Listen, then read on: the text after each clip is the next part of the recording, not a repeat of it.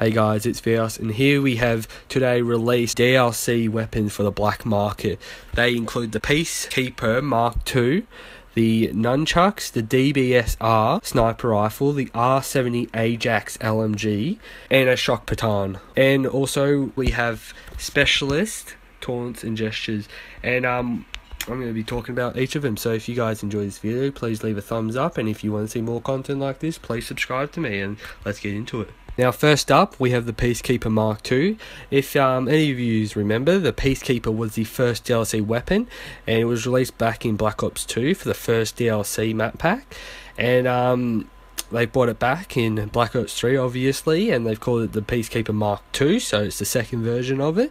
And um, yeah, it's pretty much a all back in Black Ops 2 was a SMG assault rifle hybrid. It was a hybrid uh, assault rifle hybrid. I'm pretty sure it was called, and um, it was pretty much at close distances. It was okay, and then when it got to that medium to long range, it was probably the best assault rifle for medium distance because it acted like an SMG, but when it came to those medium distance, it was just flat out perfect.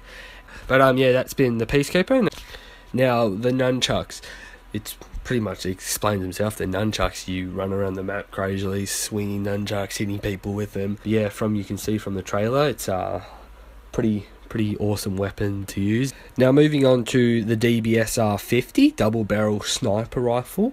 Now this gun, if you played Black Ops 2, you would instantly think DBSR 50 as the DSR 50.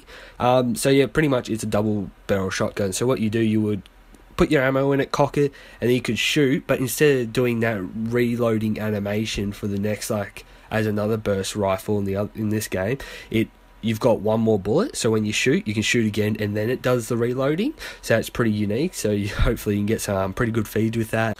Now, for a very peculiar gun to show up in Black Ops 3, we've got the R70 Ajax LMG, which is pretty much something you would see from either Advanced Warfare or um, something that you would see in Infinite Warfare when it comes out. But this gun would have to remind me of, I think it was the EM1, EM1 that um, laser LMG. But yeah, it's just it's got bullets instead, and it once if you just like acts like any um other unlimited gun, once you shoot too much, it will overheat.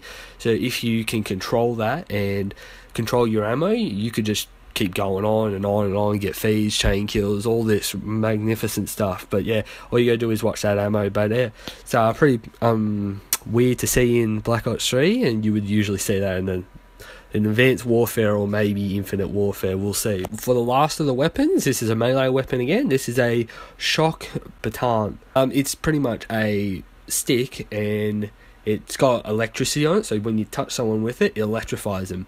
So that's something you would see in some sort of enforcer, so futuristic cop show or something. But um, yeah, a lot of um movies in the future you would see this. Uh, but yeah, you'd pretty much just run around, hit people with them, shock them, and then then down. But uh, that's about it for it. Now, this is saying I've always been wanting to see in Black Ops 3. I've been saying this to one of my friends all the time that I wish they would bring this in, and this is Specialist Taunts. So, as you can see on screen, it is a, a gesture that only your specialist can have. So, say, as you saw, you've got the gravity spikes where he throws them into the ground and they do that ripple effect. You've got the guy with the uh, Tempest, you've got, what's his name? Oh, I don't know his name, but he shoots them in the sky and then they come down as lightning bolts. I've always been wanting to see them, and I just want to see all of them. Fucking, if I find the other seven or eight, if um Blackjack has it, I don't think he does because he has nothing. But if I find the other seven, I will be sure to show you guys because this is just something I've always wanted to see, and I thought would be really unique to specialist character. So yeah. So that has been the it for the review of the July DLC weapons, I guess you can call them, because we've been pretty much getting them once every month, every second month, you know. But um, yeah, if you guys have enjoyed this video, smash those thumbs up, and if you want to see more content like this from me, please hit that subscribe button and uh, stay stay in touch, stay active on the channel and you know oh, and just a reminder if you want to be part of the free shout out i'm giving at 100 subscribers but only one person will get it and if you, you got to be the first 100 subscribers to get this. So um, yeah, that'll be it. Hope you guys enjoy, and I'll see you in the uh, next video.